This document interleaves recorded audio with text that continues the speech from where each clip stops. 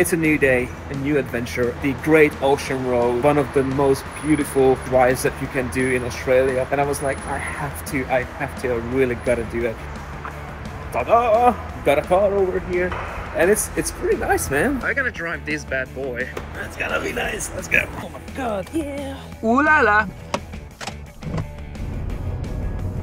I just seen a dead kangaroo and oh shit, it was huge. So this car is automatic.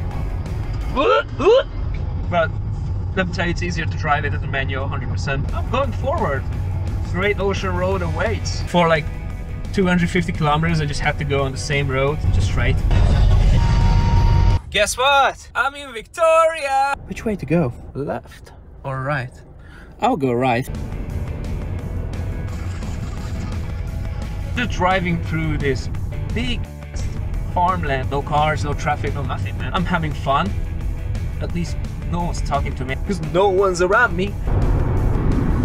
I haven't seen any kangaroos alive, but there's so many dead ones. I stopped counting after like 25. Sometimes like there's one and then 100 meters later there's another one and then 50 meters later there's another one and it's just dead kangaroos everywhere. Suicide Skippy dinosaur looking deers and they are attracted by a car going 110 or something. They're like, oh yeah, I want to kiss that.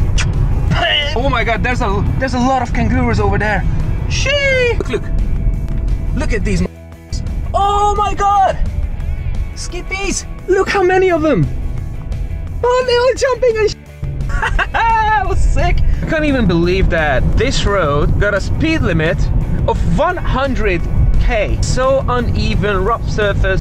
Like, who goes here with a 100? Someone who wants to know how, how is it to fly. Cows! Oh my god, I think I am already at the ocean. So, oh, shit! There's the ocean. I made it. Oh my god, I'm so happy. Bay of Island Coastal Park. These are the animals that they got over here. Probably none of them will I see because it's uh, about 10 degrees. I think less. I got all my warm clothing on. There's this path. I gotta walk through. Curious what's gonna be at the end of this path. Get out of here. Oh my god. oh my god. And guess what? There's no one around. oh, it's so cool. That's amazing. I Can't get through here.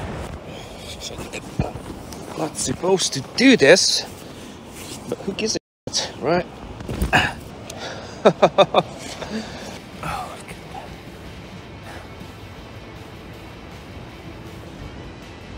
Did it worth the drive? 100%. 100% worth the drive. Every little part of it. Yep. So I had this place, the Bay of Islands, all for myself. There was literally no one around. It doesn't get nearly as crowded as some of the bigger Great Ocean Road spots, and that's kind of what makes it so cool. Imagine this, towering cliffs, wild coastlines and these insane limestone stacks just popping out of the water. It's like nature's own art gallery with each rock stack looking totally unique, carved out by centuries of wind and waves. Since the Bay of Island is a bit off the radar, you pretty much get the whole view to yourself. As, as it just happened to me. You get this quiet, laid back vibe that really lets you soak up the raw beauty all around you.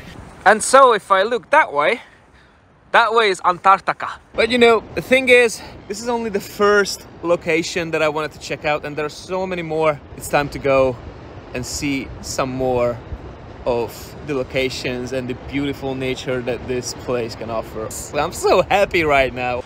So when the sun is out, it's really, really nice, but as soon as it's gone, ugh, it's chilly. During summer, December, January, this must be a really, really cool swimming location. The water must be cold as well. Yeah. Yeah. not a chance.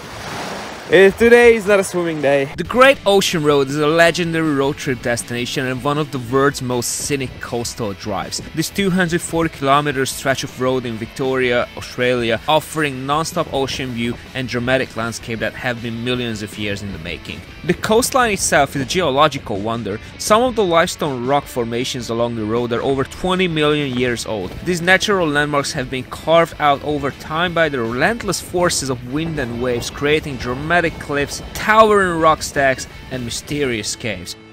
So that was Bay of Islands on the Great Ocean Road. It was only the first attraction, the first stop. Breathtaking, it's amazing. I'm so thankful to be here and to be able to do this trip. How beautiful is this?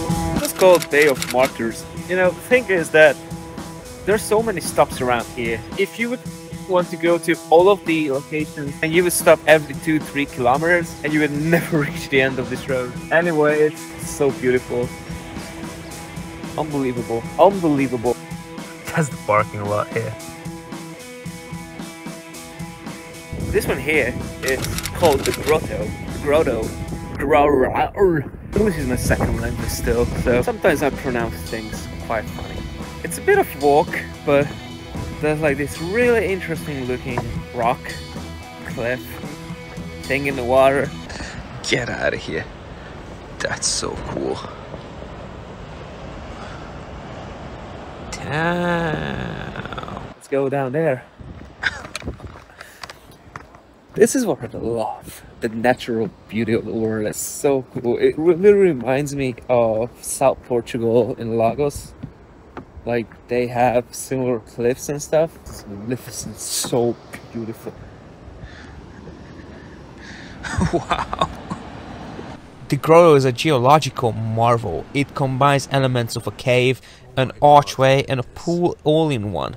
When you look through the natural window of the rock wall you treat it to an amazing view of the ocean framed perfectly by the limestones. The pool at the base fills with seawater, creating a crystal clear natural mirror that reflects the surrounding rock formation. The grotto was formed by a process called erosion, where the softer parts of the limestones were gradually worn away, leaving the unique formation. Unlike the Twelve Apostles or other sea stacks nearby, the grotto is a bit more hidden and intimate, giving it a magical, almost secret feel. Okay, it's time to go to the next location. So about 20 kilometers and I will be at the 12 Apostles. But it's gonna be so nice. Look at this. This drive is ridiculous how nice it is. It's just, I'm glad I can be here and do this. It's so, so, so nice. Venomous snakes. Any of my axes are here. here is the lookout point. And get out of here. Oh my god.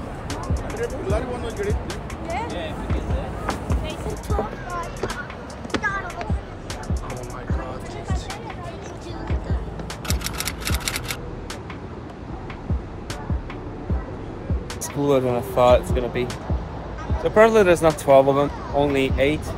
In 2004 there was still 9. Since then one of them collapsed, so there's only 8 apostles here, not 12. These towering limestone stacks rise from the Southern Ocean, making them a breathtaking highlight of the Great Ocean Road. But here's the catch, there were never actually 12. Originally, there were only 9 stacks, and today only 8 remain standing due to the constant erosion from winds and waves. All I can say, another bucket list destination checked out. This is a ridiculous, beautiful room.